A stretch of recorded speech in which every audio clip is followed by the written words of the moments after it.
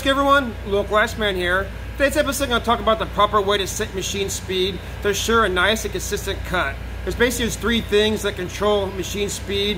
One of them is your engine speed or engine RPM. If you have a battery power machine, I'll talk about that here in a minute. The second one is your transmission control lever, and the third one is your foot pedal. So what I'm going to do is I'm going to talk about each one individually, then at the end I'll wrap it all together and put a nice little bill on top. For your battery and electric operators, I'm not sure how one drives. I've never driven one before. I'm sure there's a lot of similarities. This video may not be for you. I suggest you go mop a locker room and hit the garbages on the way back. Before we get into controls right here, I want to talk about how the Zamboni is set up, namely how it differs in how a car drives. So when you drive a car, you put your foot on the gas, the engine RPMs go up and your speed goes up.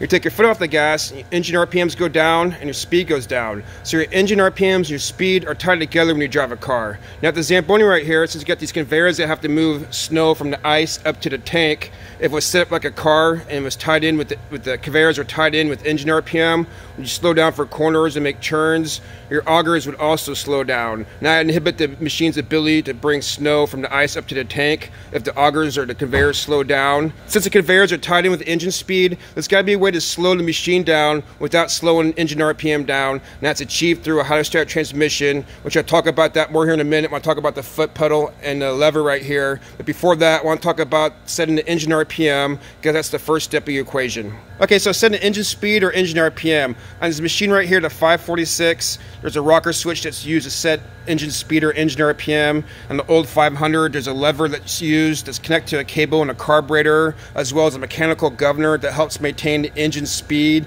by adding fuel or taking away fuel.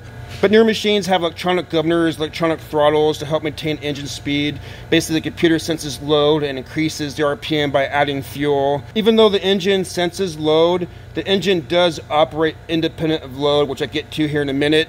But setting the engine speed during the ice resurfacing, how I see it, if I start the engine up, I want to take the RPMs to have around 15, say 16, 1700 RPMs, just to have it idling. If I go to move the machine or do any kind of flooding just with the towel, just dragging the towel, I'm up around 2000 RPMs.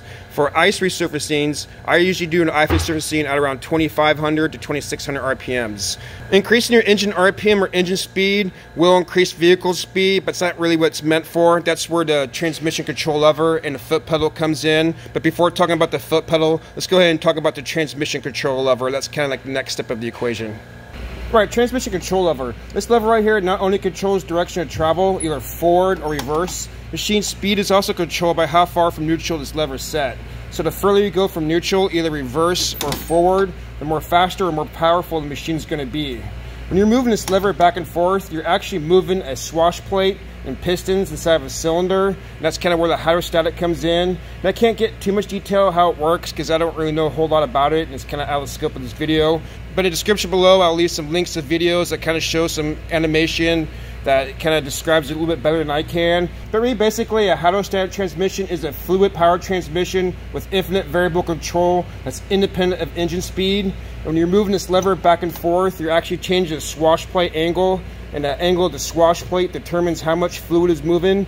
And with the Zamboni here, when you're moving this lever forward, the swash plate angle changes one way, and we're moving it to the neutral position. The swash plate's right here, and you gotta imagine there's pistons connected to the swash plate, and we're moving it back this way, then the swash plate's at a different angle. And the angle of the swash plate determines how much fluid is moving through the system. So the max setting, say here and, in, forward, max setting equals max swash plate angle, which equals max fluid movement. And decreasing the angle of the swash plate decreases the amount of fluid moving, reducing the power. And for the Zamboni, moving this lever back towards neutral reduces the transmission power, slowing the machine down. And that's how a hydrostatic transmission can act as a braking system.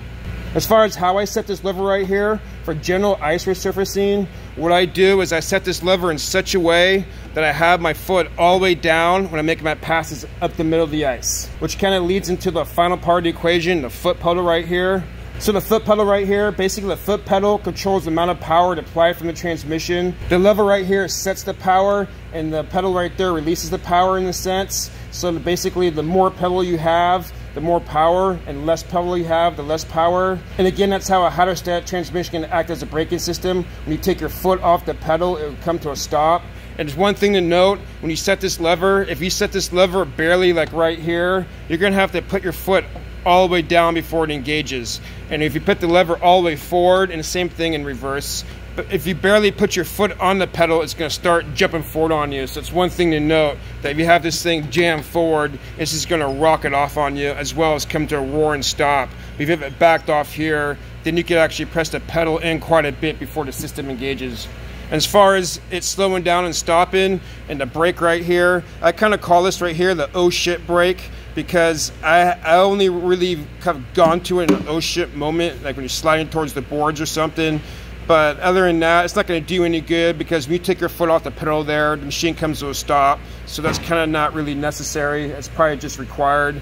Emergency brake is, I say, required because the machine, if on a hill, will roll down or roll on you. So you definitely want to engage the emergency brake if you're in on any kind of hill. But to kind of wrap everything all up, when I set the engine speed, I set the engine speed to about 2,500 RPMs for ice resurfacing, 2,000 if I'm doing any kind of floods or moving the machine around, and just over 1,500 just kind of having idling. For ice resurfacing, 2500 and setting the transmission lever. Again, I set it in such a way so my foot's all the way down when I'm making my passes up the center of the ice. When I'm churning for the corners or making turns, I kind of back off the pedal. Then I'm coming out of the turn, I put it all the way down. So it's, it's so when I'm out of the churn, it's my foot's all the way down. then I'm going up the center of the ice with the same amount of speed, landing the same amount of water, and taking up the same amount of ice if I have the blade set appropriately.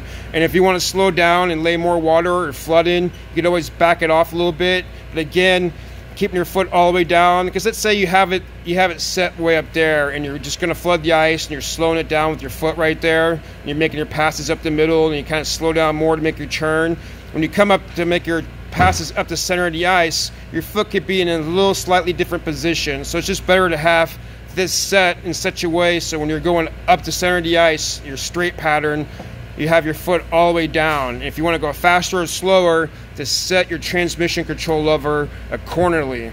Just don't have it so far forward that you have to have your foot off every time you go up to the center of the ice because you're going to have to have it, in, you know, and maybe you can have it in the same position, relative same position, but for maximum consistency, you want your foot all the way down and setting this to the appropriate speed.